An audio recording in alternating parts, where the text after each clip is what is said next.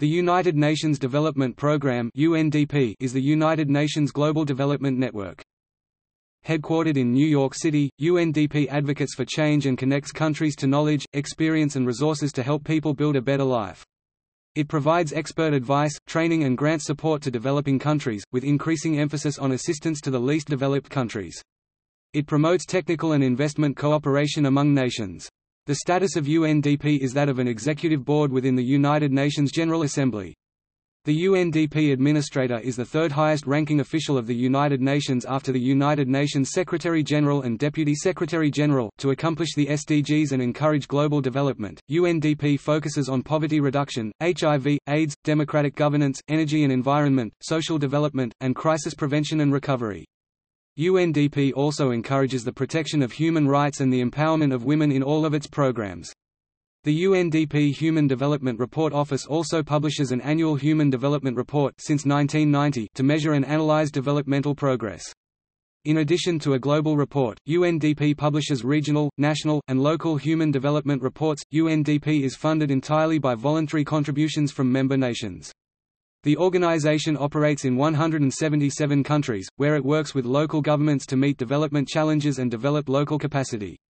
Additionally, the UNDP works internationally to help countries achieve the Sustainable Development Goals SDGs. UNDP was one of the main UN agencies involved in the development of the post-2015 development agenda. UNDP works with nations on their own solutions to global and national development challenges. As they develop local capacity, they draw on the people of UNDP and its wide range of partners. However UNDP offers to help only if the different nations request it to do so.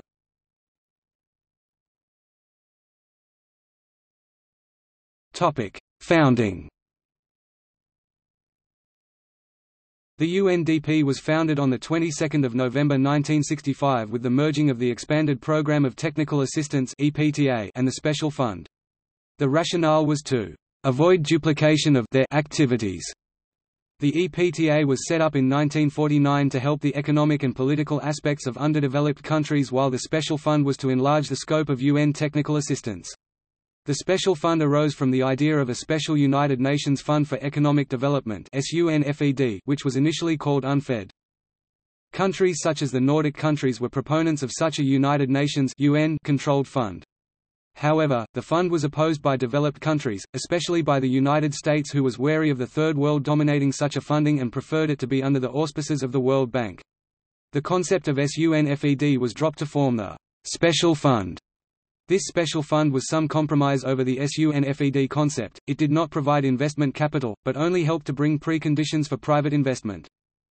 With the U.S. proposing and creating the International Development Association within the World Bank's umbrella, the EPTA and the Special Fund appeared to be conducting similar work.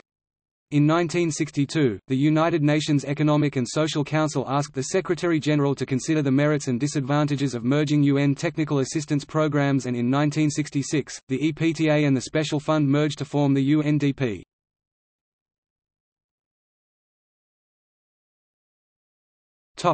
Budget In 2013, UNDP's entire budget was approximately $5 billion.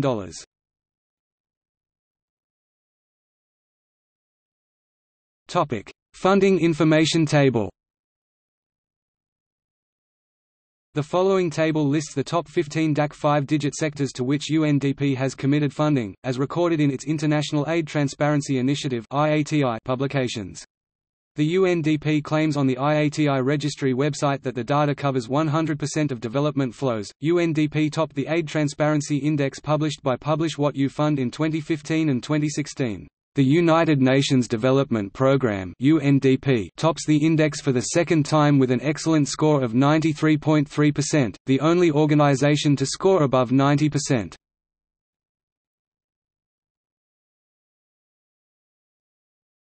Topic: Functions UNDP's officers and staff are on the ground in 177 countries, working with governments and local communities to help them find solutions to global and national development challenges. UNDP links and coordinates global and national efforts to achieve the goals and national development priorities laid out by host countries. UNDP focuses primarily on five developmental challenges. Democratic governance UNDP supports national democratic transitions by providing policy advice and technical support, improving institutional and individual capacity within countries, educating populations about and advocating for democratic reforms, promoting negotiation and dialogue, and sharing successful experiences from other countries and locations. UNDP also supports existing democratic institutions by increasing dialogue, enhancing national debate, and facilitating consensus on national governance programs.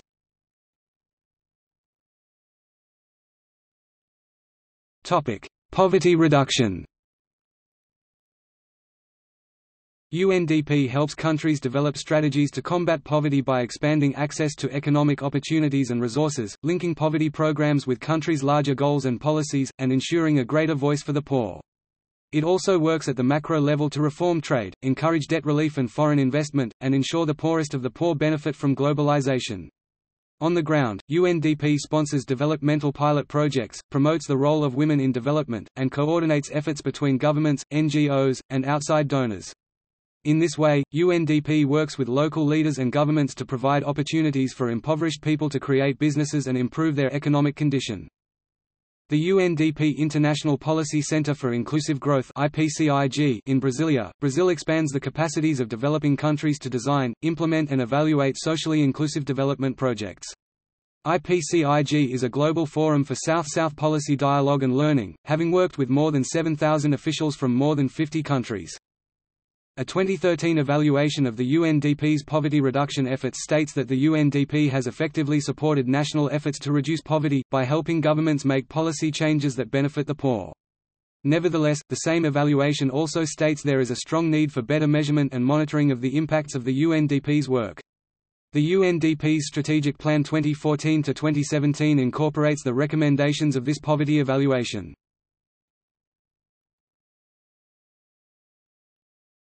Topic: Crisis prevention and recovery. UNDP works to reduce the risk of armed conflicts or disasters, and promote early recovery after crises have occurred. UNDP works through its country offices to support local government in needs assessment, capacity development, coordinated planning, and policy and standard setting. Examples of UNDP risk reduction programs include efforts to control small arms proliferation, strategies to reduce the impact of natural disasters, and programs to encourage use of diplomacy and prevent violence.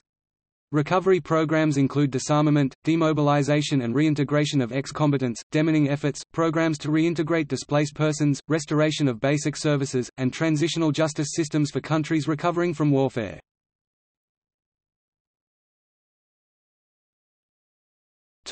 Environment and energy.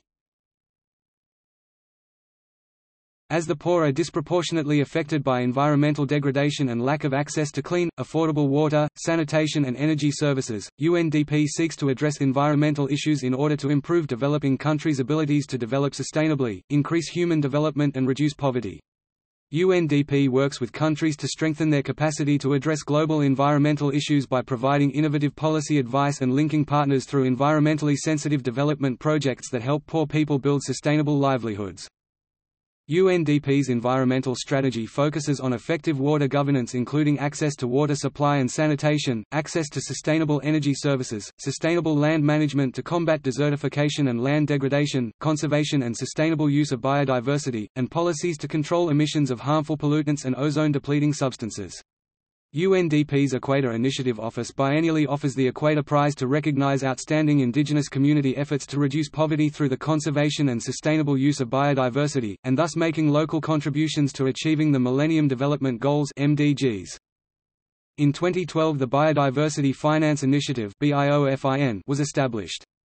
BIOFIN brings 30 countries together to develop and implement evidence-based finance plans to safeguard biodiversity.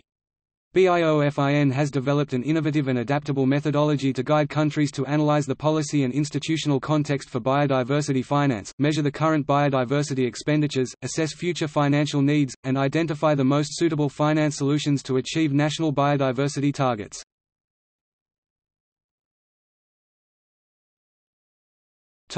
HIV, AIDS HIV, AIDS is a big issue in today's society and UNDP works to help countries prevent further spreading and reduce its impact, convening the Global Commission on HIV and the Law which reported in 2012.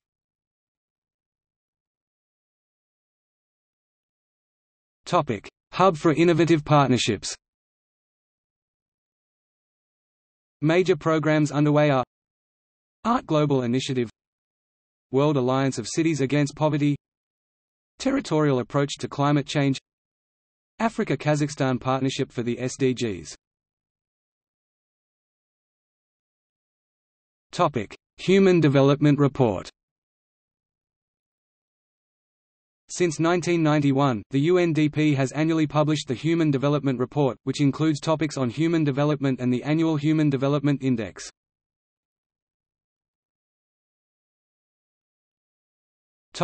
Evaluation The UNDP spends about 0.2% of its budget on internal evaluation of the effectiveness of its programs. The UNDP's Evaluation Office is a member of the UN Evaluation Group which brings together all the units responsible for evaluation in the UN system. Currently the UNEG has 43 members and 3 observers.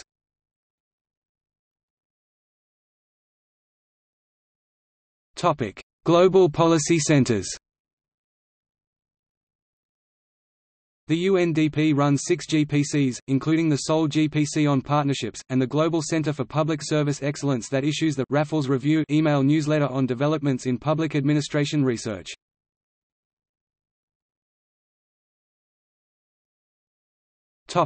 UN coordination role UNDP plays a significant coordination role for the UN's activities in the field of development.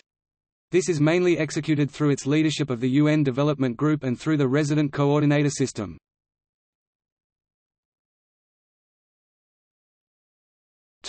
United Nations Development Group The United Nations Development Group UNDG was created by the Secretary-General in 1997, to improve the effectiveness of UN development at the country level.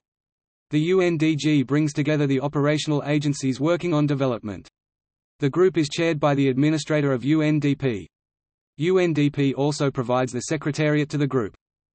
The UNDG develops policies and procedures that allow member agencies to work together and analyze country issues, plan support strategies, implement support programs, monitor results and advocate for change. These initiatives increase UN impact in helping countries achieve the Millennium Development Goals MDGs, including poverty reduction. 32 UN agencies are members of the UNDG. The Executive Committee consists of the four founding members UNICEF, UNFPA, WFP and UNDP. The Office of the High Commissioner for Human Rights is an ex officio member of the Executive Committee.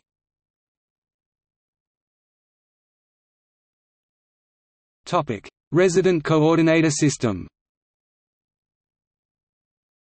The Resident Coordinator (RC) system coordinates all organizations of the United Nations system dealing with operational activities for development in the field. The RC system aims to bring together the different UN agencies to improve the efficiency and effectiveness of operational activities at the country level.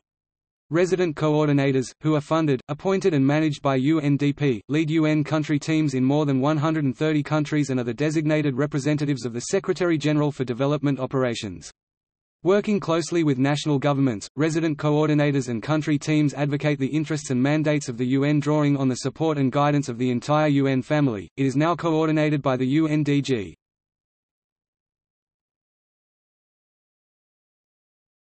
Topic: Controversies.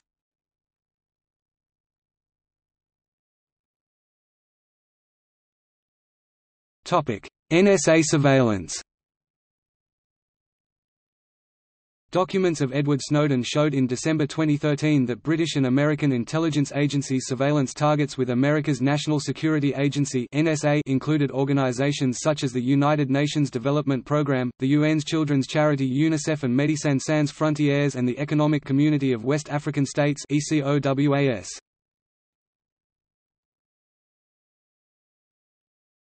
Topic: Allegations of UNDP resources used by Hamas. In August 2016, Israel's Shin Bet security agency went public with the arrest of Wahid Abdullah al-Bursh, a Palestinian engineer with the United Nations Development Programme. In its statement, Shin Bet said that Wahid had confessed to being recruited in 2014 to help Hamas. Among various assignments he performed on behalf of Gaza's dominant Islamist group was assistance in building a maritime jetty for its fighters, using UNDP resources.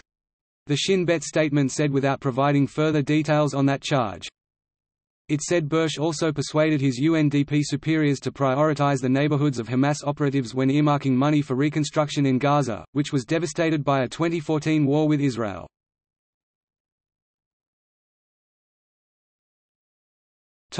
Criticism The UNDP has been criticized by members of its staff and the Bush administration of the United States for irregularities in its finances in North Korea. Artjon Shkurtaj claimed that he had found counterfeit US dollars in the program's safe while the staff were paid in euros. The UNDP denied any wrongdoing, and keeping improper accounts.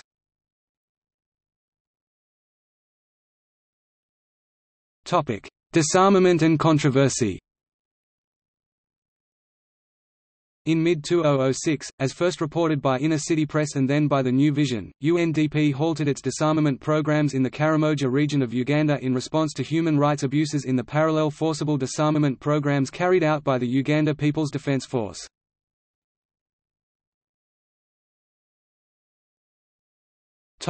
Administrator The UNDP administrator has the rank of an Undersecretary General of the United Nations. While the administrator is often referred to as the third highest ranking official in the UN after the UN Secretary-General and the UN Deputy Secretary-General, this has never been formally codified. In addition to his or her responsibilities as head of UNDP, the administrator is also the vice chair of the UN Development Group. The position of administrator is appointed by the Secretary General of the UN and confirmed by the General Assembly for a term of four years. Achim Steiner is the current administrator.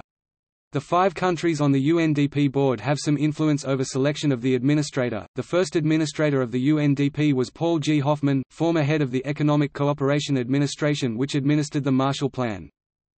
Other holders of the position have included, Bradford Morse, former Republican congressman from Massachusetts, William Draper, venture capitalist and friend of George H. W. Bush who saw one of the UN system's major achievements, the Human Development Report, introduced during his tenure, Mark Malloch Brown, who was previously Vice President of External Affairs at the World Bank and subsequently became UN Deputy Secretary-General. Kemal Dervis, a former finance minister of Turkey and senior World Bank official, was the previous UNDP administrator. Dervis started his four-year term on 15 August 2005.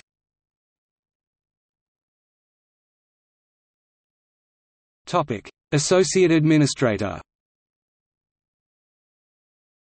During meetings of the UN Development Group, which are chaired by the Administrator, UNDP is represented by the Associate Administrator. The position is currently held by Tegegnework Gettu, appointed on 1 December 2015. He is also currently Service as Director A, I, for the Africa region. Topic Assistant Administrators Assistant Administrators of the UNDP, Assistant United Nations Secretary-Generals and Directors of the Regional Bureaus are Susan McDade Denmark, for Bureau of Management, Abdoulaye Mar Dieye Senegal, for Bureau for Programme and Policy Support, Haoliang Xu China, for Asia and Pacific, Mirjana Spoljaric Egger Switzerland, for Europe and CIS and Lenni Montiel A, I, Venezuela, for Latin America and the Caribbean.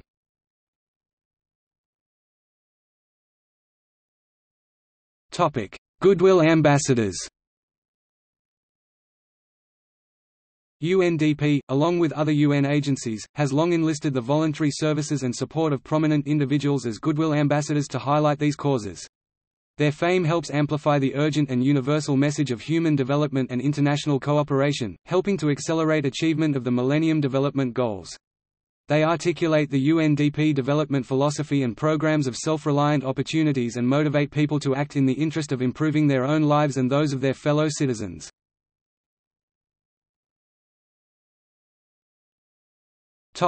Global ambassadors See also